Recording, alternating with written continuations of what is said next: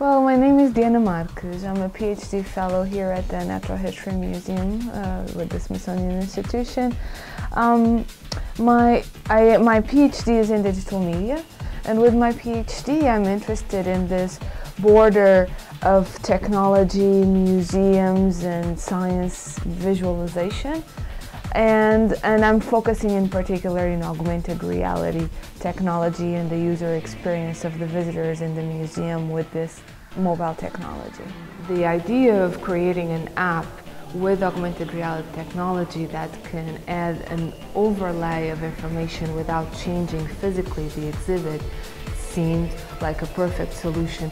Um, I did all the design of the app and the user experience as far as the augmented reality, I created uh, most of the 3D models either from scratch or we did also CT scanning, micro CT scanning, we did laser and optical scanning, we also used photogrammetry.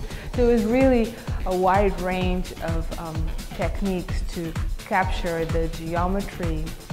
What we wanted with this tool is to turn the hall into a destination so that people would want to come here and not just come through here to get to other parts of the museum.